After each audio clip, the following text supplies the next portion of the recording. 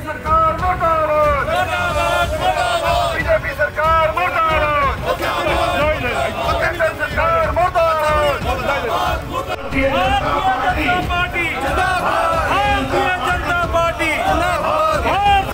ਖੇਤੀ ਕਰੋਨਾ ਦੇ ਖਿਲਾਫ ਲਗਾਤਾਰ ਕਿਸਾਨਾਂ ਦਾ ਰੋਸ ਪ੍ਰਦਰਸ਼ਨ ਜਾਰੀ ਹੈ ਤੇ ਭਾਜਪਾ ਦੇ ਨੇਤਾਵਾਂ ਖਿਲਾਫ ਵੀ ਲਗਾਤਾਰ ਪ੍ਰਦਰਸ਼ਨ ਕੀਤਾ ਜਾ ਰਿਹਾ ਹੈ। ਇਸੇ ਦੇ ਚਲਦਿਆਂ ਨਗਰ ਕੌਂਸਲ ਦੇ ਚੋਣਾਂ ਦੇ ਪ੍ਰਚਾਰ ਦੌਰਾਨ ਭਾਜਪਾ ਦੇ ਪ੍ਰਧਾਨ ਜਦ ਅਸ਼ਵਨੀ ਸ਼ਰਮਾ ਨੰਗਲ ਵਿਖੇ ਪਹੁੰਚੇ ਤਾਂ ਉੱਥੇ ਵੀ ਉਹਨਾਂ ਨੂੰ ਕਿਸਾਨਾਂ ਦੇ ਵਿਰੋਧ ਦਾ ਸਾਹਮਣਾ ਕਰਨਾ ਪਿਆ। ਹਾਲਾਂਕਿ ਪੁਲਿਸ ਦੇ ਪੁਖਤਾ ਪ੍ਰਬੰਧਾਂ ਦੇ ਕਰਕੇ ਕਿਸਾਨਾਂ ਨੂੰ ਪਿੱਛੇ ਹੀ ਰੋਕ ਲਿਆ ਗਿਆ, ਪਰ ਕਿਸਾਨਾਂ ਨੇ ਇਸ ਮੌਕੇ ਮੋਦੀ ਸਰਕਾਰ ਅਤੇ ਅਸ਼ਵਨੀ ਸ਼ਰਮਾ ਦੇ ਖਿਲਾਫ ਜੰਮ ਕੇ ਨਾਅਰੇਬਾਜ਼ੀ ਕੀਤੀ ਹੈ। ਪੰਜਾਬ ਭਾਜਪਾ ਦੇ ਪ੍ਰਧਾਨ ਅਸ਼ਵਨੀ ਸ਼ਰਮਾ ਨੰਗਲ ਵਿਖੇ ਨਗਰ ਕੌਂਸਲ ਚੋਣਾਂ ਦੇ ਪ੍ਰਚਾਰ ਲਈ ਪਹੁੰਚੇ ਸਨ। ਇਸ ਮੌਕੇ ਕਿਸਾਨ ਆਗੂਆਂ ਨੇ ਜਿੱਥੇ ਮੋਦੀ ਸਰਕਾਰ ਦੇ ਖਿਲਾਫ ਨਿਸ਼ਾਨੇ ਸਾਧੇ ਹਨ, ਉੱਥੇ ਹੀ ਅਸ਼ਵਨੀ ਸ਼ਰਮਾ ਨੇ ਵੀ ਕਿਸਾਨਾਂ ਨੂੰ ਆਪਣਾ ਅੰਦੋਲਨ ਵਾਪਸ ਲੈਣ ਦੀ ਅਪੀਲ ਕੀਤੀ ਹੈ ਤੇ ਕਿਹਾ ਹੈ ਕਿ ਖੇਤੀ ਕਾਨੂੰਨ ਕਿਸਾਨਾਂ ਦੇ ਹੱਕ ਵਿੱਚ ਹੀ ਹਨ।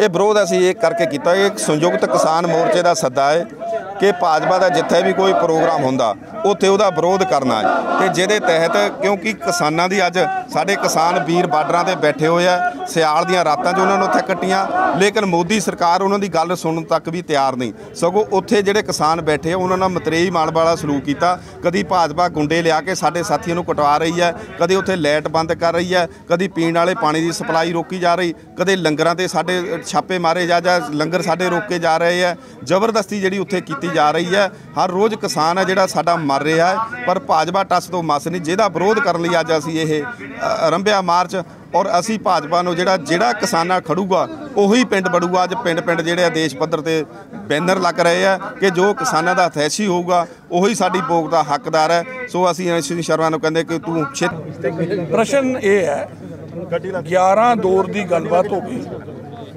ਮੈਨੂੰ ਲੱਗਦਾ ਕਿ ਜਿਸ ਦਿਨ ਕੇਂਦਰ ਨੇ ਇਹ ਪ੍ਰਪੋਜ਼ਲ ਦਿੱਤਾ ਸੀ ਕਿ ਡੇਢ ਸਾਲ ਤੱਕ ਇਹ ਲਾਗੂ ਨਹੀਂ ਹੋਏਗਾ, ਉਸ ਦਿਨ ਇਹ ਅੰਦੋਲਨ ਖਤਮ ਹੋ ਜਾਣਾ ਚਾਹੀਦਾ ਸੀ।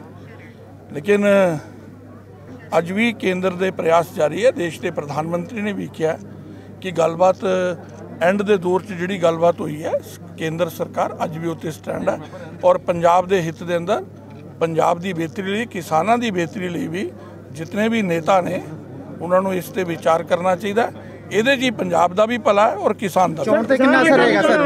ਚੋਣ ਤੇ ਕਿੰਨਾ ਅਸਰ ਰਹੇਗਾ ਜੀ ਕਿੰਨਾ ਨੁਕਸਾਨ ਕਿੰਨਾ ਨੁਕਸਾਨ ਤੇ ਅਕਾਲੀ ਦਲ ਤੋਂ ਪਿੱਛੇ ਹਟ ਕਿੰਨਾ ਫਾਇਦਾ ਕਿੰਨਾ ਨੁਕਸਾਨ ਹੈ ਐਸਾ ਭਾਈ ਸਾਹਿਬ ਮੈਨੂੰ ਤਾਂ ਨੁਕਸਾਨ ਵਾਲੀ ਤਾਂ ਕੋਈ ਗੱਲ ਦਿਖ ਨਹੀਂ ਰਹੀ।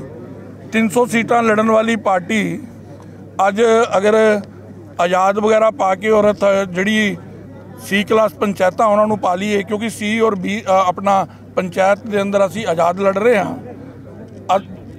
ਲਗਭਗ 1400 ਸੀਟਾਂ ਜਿਹੜੀ ਪਾਰਟੀ ਲੜ ਰਹੀ ਹੋਏ ਉਹਦੀਆਂ ਤੇ ਮੋਜਾਂ ਹੀ ਮੋਜਾਂ 300 ਲੜਦੀ ਸੀ ਪਹਿਲਾਂ। ਸ਼੍ਰੀ ਅਨੰਦਪੁਰ ਸਾਹਿਬ ਤੋਂ ਬਿਮਲ ਕੁਮਾਰ ਦੀ ਰਿਪੋਰਟ ਪੰਜਾਬ ਟੁਡੇ